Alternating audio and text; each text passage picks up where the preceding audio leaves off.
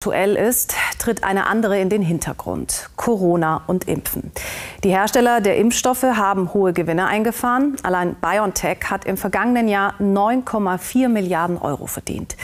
Drei Jahre nach der Pandemie haben wir weitgehend unser Leben zurück. Das gilt aber nicht für sie. Menschen, die schwere Impfschäden erlitten haben. Genaue Zahlen, wie viele davon betroffen sind, gibt es noch nicht. Es klagen aber an deutschen Gerichten immer mehr Menschen wegen möglichen Impfschäden und fordern Schadensersatz. Die Hürden für die Kläger sind aber enorm hoch, wie unsere zwei Beispiele zeigen. Oliver Janke ist einer von Hunderten in Deutschland, die den Impfstoffhersteller BioNTech auf Schmerzensgeld verklagen. Kurz nach der zweiten Impfung im Sommer 2021 wurde bei ihm eine Autoimmunerkrankung, das sogenannte Guillain-Barré-Syndrom, diagnostiziert. Der junge Mann verbrachte fast ein Dreivierteljahr in Krankenhäusern und Reha-Einrichtungen. Im körperlichen Zustand war ich zum Beispiel komplett gelähmt. Ich konnte ähm, gar nichts mehr machen. Ich konnte nicht sprechen, ich konnte nicht essen. Ich konnte nur mit den Augen blinzeln. Für seine Ärzte besteht der Verdacht, dass die Impfung mit BioNTech die Autoimmunerkrankung ausgelöst haben könnte. Nach fast einem Jahr hat sich Oliver Janke aus dem Rollstuhl gekämpft, lernt wieder laufen. Dennoch wird er wohl nie wieder in seinem Beruf als Baumaschinenführer arbeiten können. Er hat Pflegegrad 2 und bezieht derzeit eine befristete Erwerbsunfähigkeitsrente. Die aber auch nur ein Tropfen auf dem heißen Stein ist und nicht viel Geld ist. Und natürlich, wenn das Schmerzensgeld und der Schadensersatz nicht durchgehen sollte, dann ähm, ist es natürlich auch ein wirtschaftlicher Totalschaden. Deswegen hat er bereits im September 2022 beim Landgericht Potsdam seine Klage auf Schadenersatz und Schmerzensgeld eingereicht. Dabei muss er den Hersteller BioNTech verklagen, obwohl das Unternehmen trotz seiner Milliardengewinne mit dem Impfstoff von jeglicher Haftung freigestellt ist. Das sieht dieser Vertrag mit der EU-Kommission von 2020 vor, den rechtlich die Mitgliedstaaten, also auch die Bundesrepublik Deutschland, geschlossen haben. Hier wurde festgelegt, dass diese im Falle einer Haftung für die Hersteller sämtliche Anwalts- und Gerichtskosten sowie die eventuell entstehenden Schadenersatzansprüche übernimmt. Das gelte sogar bei grob fahrlässigem Verhalten des Herstellers, so der Anwalt Tobias Ulbrich, der deutschlandweit 750 mutmaßlich Geschädigte vertritt. Letztendlich wollte der Impfhersteller vermeiden, jemals die Gewinne, die erzielt worden sind, wieder heraustun zu müssen. Also wurde etwas hineingeschrieben in den Vertrag, dass auch grobe Fahrlässigkeit und Vorsatz ausgeschlossen ist und nur bei Absicht selbst der Hersteller haften soll und nichts kompensiert bekommt durch die Bundesrepublik Deutschland. Das ist aus meiner Sicht schon rechtlich nicht möglich. Denn wenn wir das Haftungsrecht nehmen, ist es untersagt, grobe Fahrlässigkeit und Vorsatz im Rahmen von Haftungsregeln auszuschließen. Während Kläger wie Oliver Janke im Prozess gegen den Hersteller also das volle finanzielle Risiko tragen müssen, hält die Bundesregierung, also letztlich der Steuerzahler, die Hersteller schadlos in Bezug auf alle entstandenen Verbindlichkeiten. Die Verträge waren geheim, die EU-Kommission zeigte sie zum Teil nur geschwärzt, durch einen Leak gerieten sie in die Öffentlichkeit. Dass dieser Vertrag mit all seinen Konsequenzen nicht Teil der Impfkampagne war, hält Anwalt Cäsar Preller aus Wiesbaden für einen Skandal. Die Impfstoffhersteller haben klipp und klar in den Verhandlungen gesagt, wir machen es nur, wenn die Staatengemeinschaft und die Mitgliedstaaten eben die Haftung komplett übernehmen, damit sie von jeden jeglichen Risiken befreit sind. Das steckt dahinter, die Angst vor Impfschäden. Und das haben ja nun die Politiker, die letztendlich auch diesen Vertrag geschlossen haben, dann spätestens dort mitbekommen, dass es sich nicht nur um harmlose Impfungen handelt, aber in der Impfkampagne verharmlosend davon gesprochen, dass es einfach nur ein harmloser Pieks ist, hat ein bisschen weh an der Einstichstelle und das war's. Wir wollen von der EU-Kommissarin Ursula von der Leyen wissen, wer von der Bundesregierung die Kommission beauftragt hat, diese Verträge abzuschließen und warum diese geheim gehalten wurden. Sie schweigt dazu. Auch der jetzige Bundesgesundheitsminister beantwortet uns diese Frage nicht. Schriftlich heißt es, Entscheidend ist, dass die Ansprüche der Impflinge auf Schadenersatz in keiner Weise eingeschränkt sind.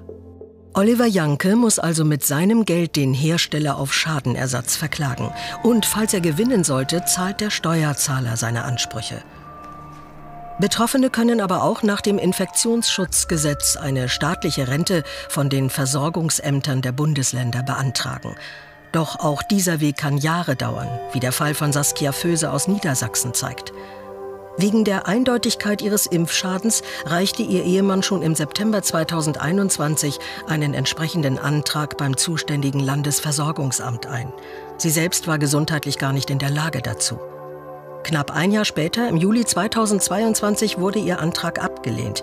Ihre Schädigung sei nicht auf die durchgeführte Impfung zurückzuführen, behauptete das Amt. Für die Familie unfassbar wütend, total wütend, frustriert, alles. Ähm, da kommen sämtliche Emotionen hoch, wenn man das, wenn man das mitmacht. Dass hinterher niemand dafür die Verantwortung übernehmen möchte oder helfen möchte, das hat mich ganz schlimm getroffen.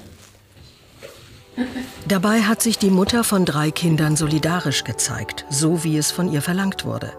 Um in ihrem Beruf als Traumapädagogin weiter mit den schwerkranken Kindern arbeiten zu können, wurde sie schon relativ früh geimpft. Im März 2021 mit dem Impfstoff von AstraZeneca.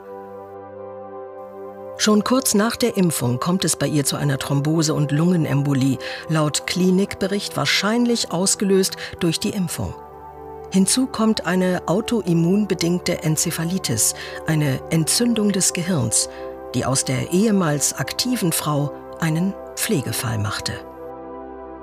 Für mich persönlich war das mit einer wahnsinnigen Angst auch verbunden, weil ich nicht gedacht habe, dass ich je wieder nach Hause kommen kann, weil ich mir nicht vorstellen konnte, als ich nicht sprechen oder schlucken oder gehen konnte, dass jemand zu Hause meine Pflege übernehmen könnte. Aber mein Mann hat immer gesagt, ich hole dich nach Hause, egal was ist.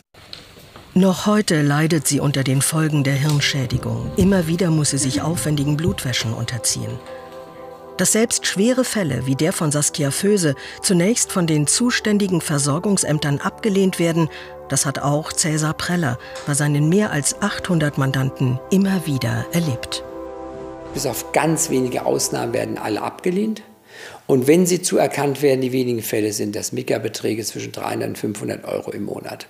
Also vollständig ungenügend. Seine Aussage deckt sich mit unseren Recherchen. Insgesamt wurden Stand März 6.465 Anträge auf Anerkennung eines Impfschadens bei den Versorgungsämtern gestellt. 274 Fälle wurden anerkannt. Mehr als 2000 Fälle abgelehnt. Die meisten Anträge sind nach wie vor in Bearbeitung. Was der Ehemann von Saskia Föse nicht nachvollziehen kann, ist der Grund, dem ihm die Mitarbeiter für die Ablehnung des Antrages genannt haben. Ja, ähm, Sie haben eine Anweisung, erstmal alles abzulehnen ähm, und dann beim Widerspruch wird erst, äh, wird erst richtig geprüft.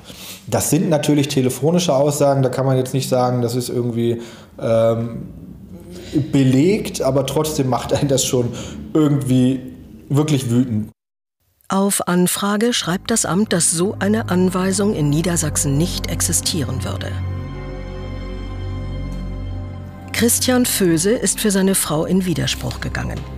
Jetzt im März, also nach eineinhalb Jahren, kam nun endlich die Anerkennung des Impfschadens.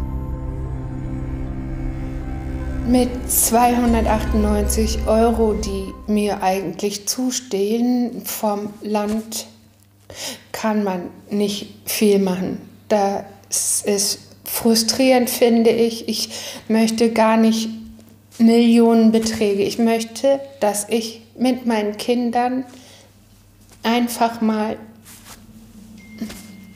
irgendwas ganz Normales machen kann, Karl Lauterbach sprach jetzt in einem ZDF-Interview erstmals zu der schwierigen Situation der Impfgeschädigten. Er hofft nun auch auf die Hersteller. Es wäre auf jeden Fall wertvoll, wenn die also, äh, Firmen hier äh, eine ja, Beteiligung zeigen würden, denn die Gewinner sind ja exorbitant gewesen, exorbitante Gewinne. Und äh, somit also wäre das tatsächlich mehr als eine äh, gute Geste. Das sind nette leere Worte äh, des Ministers, das zu fordern, wenn etwas vertraglich bereits anders geregelt ist. Das ist eine Illusion, die er sich dahin gibt, die in der Realität keine Umsetzung finden wird. BioNTech schreibt uns, berechtigte Ansprüche würde man erfüllen. Aber im Fall von Oliver Janke sei nicht erwiesen, dass die Impfung seine Krankheit ausgelöst habe. AstraZeneca wollte sich zum Fall von Saskia Föse nicht äußern. Die Impfstoffe hätte man aber zum Selbstkostenpreis, also ohne Gewinn, an die Bundesregierung geliefert. Neben Schadensersatz und finanziellen Hilfen für Betroffene fehlt es nach wie vor auch an Forschungen zu Impfschäden. Und wenn wir beim Thema Folgen sind, dann blicken